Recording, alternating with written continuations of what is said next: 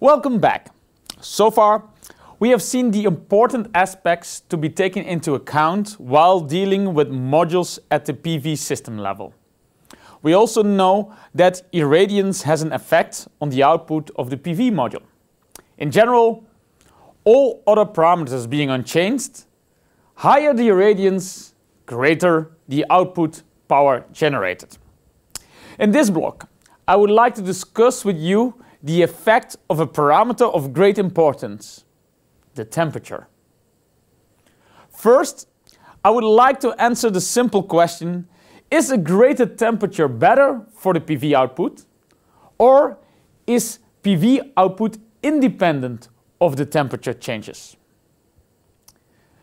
In this graph, you see the IV curve of a PV module at a given irradiance and temperature.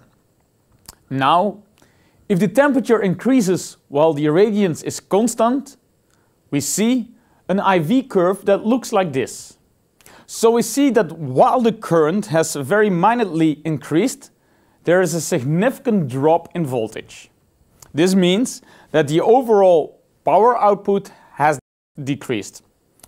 On the other hand, if the temperature were to decrease with respect to the original conditions, while the irradiance were constant, the PV output would show an increase. The minor increase in current with temperature can be explained with the fact that carrier concentration and mobility increase in the semiconductor with temperature.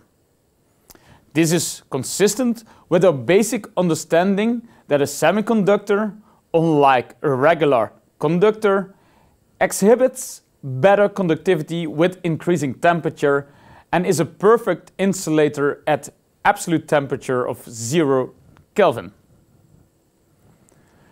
The decreasing effect on voltage can be explained from this form of the basic diode equation seen in the earlier weeks. While the temperature affects the various terms in the equation, the net effect of temperature is that it decreases the open circuit voltage linearly. The drop in open circuit voltage with temperature is mainly related to the increase in the leakage currents of the photodiode I0 in the dark with temperature. The I0 strongly depends on the temperature. We have dedicated one of the exercises this week to this effect. The magnitude of reduction varies inversely with the open circuit voltage. This means that cells with higher open circuit voltage are less affected by the temperature than cells with lower open circuit voltage. This means that a solar cell based on crystalline silicon with an open circuit voltage of 650 millivolts will be more affected than an amorphous silicon solar cell with an open circuit voltage of 850 millivolts. So now you have an idea of the effect of temperature on the PV output. But how do we quantify this effect? If the temperature of the PV module were to increase by 10 degrees Celsius, how would the output be affected? Well, the PV module manufacturers include what are known as the temperature coefficients in the datasheets of the commercial modules. Temperature coefficient is nothing but the rate of change of a parameter with a temperature. For instance, the temperature coefficient of voltage is the rate of change of the voltage with temperature. Similarly, temperature coefficient of power is the rate of change of the output power with temperature. A typical datasheet of a commercial PV module specifies temperature coefficients for the power, the open circuit voltage and the short circuit current under standard test conditions. Given these coefficients, how do we calculate the PV output with respect to the temperature change? We can use this simple equation. The term dx dt denotes the temperature coefficient of the particular parameter. The reference temperature taken for this calculation is the standard test condition temperature, which is 25 degrees Celsius. Let's take a look at an example. If the maximum power output of a PV module under standard test conditions is 250 watts and the temperature coefficient of power is minus 2 watts per degree Celsius, then the module's power output at a temperature of 30 degrees Celsius can be calculated as follows. The power is 250 watts plus minus 2 watts per degree multiplied by the temperature difference 30 minus 25 degrees Celsius, which gives you 240 watts. As you can see, the sign of the temperature coefficient determines if the parameter is increasing or decreasing with temperature. In the exercises for this block, you will be able to use this equation to estimate the effect of temperature on the various PV parameters. Now, we must be careful while making these calculations. In the previous example, when we said that the temperature was 30 degrees Celsius, did we mean the PV module's temperature or the ambient temperature? Should the two be the same?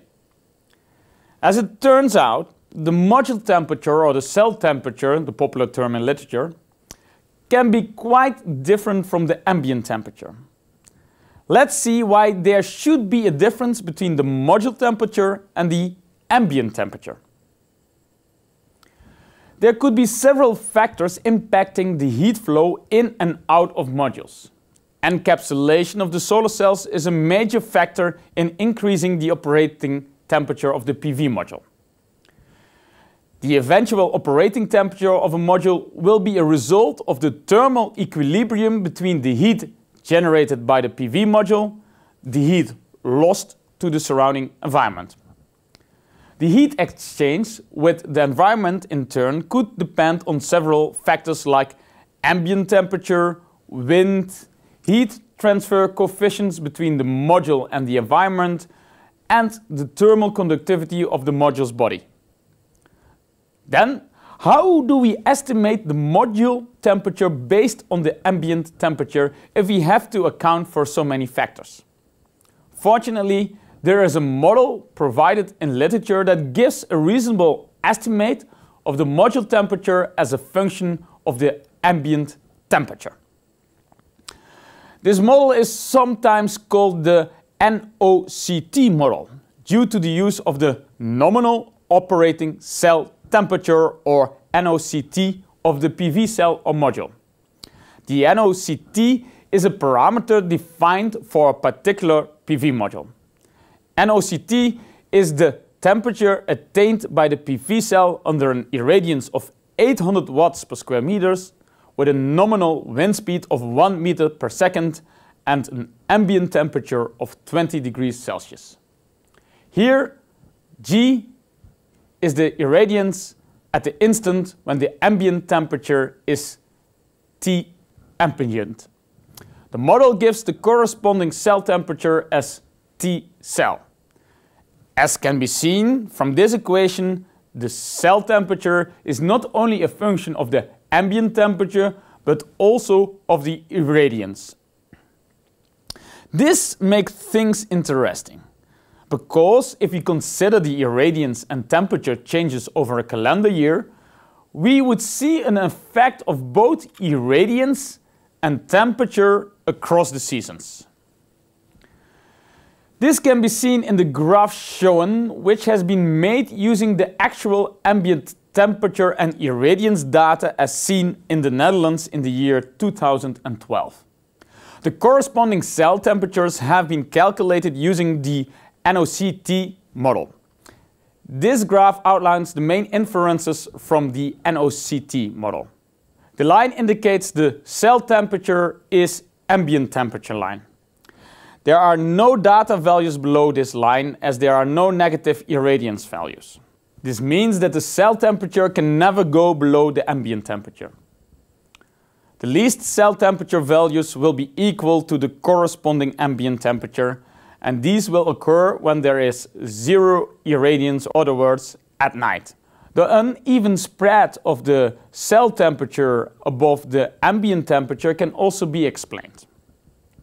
When the cell temperature is closer to the ambient temperature, this is because the impact of irradiance is lesser meaning these set of points correspond to the irradiance and ambient temperatures during winter. Similarly, when the T-cell values go much higher than the ambient values, it's because the irradiance effect in the summer is quite high. This gives us some fascinating insights. This means that in summer, although the sun is shining more, the module is performing worse due to the temperature effects that bring down the PV output at a high cell temperature. In winter, the detrimental temperature effects are far less, although the irradiance levels also fall severely in winter. This means that the best ambient conditions for your PV module would be a cold day with plenty of sun. So how serious can this temperature effect B for a PV module's output over the calendar year. At the PVMD group of the Delft University of Technology, we have done an extensive study on the temperature effects on the PV module's output. In this graph, you can see the efficiency of a PV module over a calendar year as modeled using actual temperature and irradiance data for the Netherlands in 2012. It can be clearly seen how the efficiency is not constant but changing with the ambient conditions over the year. To give you an idea of the deviation from the expected efficiency, the rated efficiency is shown for this model. So you see, temperature effect cannot be underestimated as it can turn out to be the biggest reason for a low PV yield.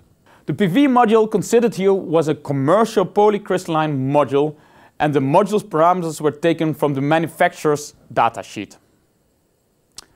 The difference between the expected PV yield with rated efficiency and the actual yield due to the temperature effect gives rise to a module ideality factor.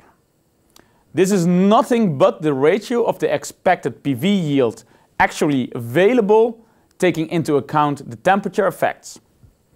If the module ideality factor is 80%, that means that the module has lost 20% of its annual energy yield due to temperature effects. If the module ideality factor is 100%, that means the module is immune to temperature changes. Now, the extent to which the temperature impacts the module output is a function of the PV technology and the manufacturing process, which collectively decides the temperature coefficients of the PV module. The temperature effect is also a function of the ambient conditions. For the same technology, there could be a deviation in the temperature coefficients due to the manufacturing processes and other design modifications. The following graph shows the spread of a few of the common silicon-based modules based on their module ideality factors and the temperature coefficient. These numbers have been calculated after modeling the temperature effects of these PV modules for the ambient conditions in the Netherlands in the year 2012. The Sanyo HIT module shows the highest module ideality factor owing to its low temperature coefficients of power. More PV technologies are being analyzed at the Delft University to understand the extent of the temperature effects. As said before, the amorphous silicon technology show very low temperature coefficients due to their high open circuit voltage. This means they would show a better response under high temperatures. However, their efficiencies are far lower compared to some of the best crystalline silicon technologies. But conventional crystalline silicon modules are also very bulky. Polycrystalline silicon modules cover a lot of area. Monocrystalline modules are more area efficient but are more expensive. Amorphous silicon modules are cheaper, lighter and sometimes even flexible but give poorer yields. So there is plenty of optimization to be done just for the choice of your ideal PV module for your system. The optimum choice will of course depend on the location, ambient conditions, the budget you have, among other factors. Fascinating, right? So this was a brief overview of the module level considerations. In the coming blocks, we shall look at more PV system components and concepts. See you in the next block.